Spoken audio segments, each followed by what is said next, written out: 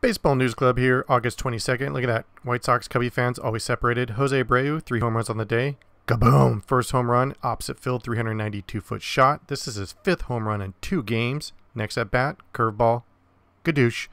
Crushes it, 385 feet, 105 mile per hour exit velocity. In fact, Chicago hit six home runs the day before. Here it is again. Reach out and crush someone. Then his third home run, just kaboom! 399 foot shot. Jose Abreu absolutely on fire along with the White Sox.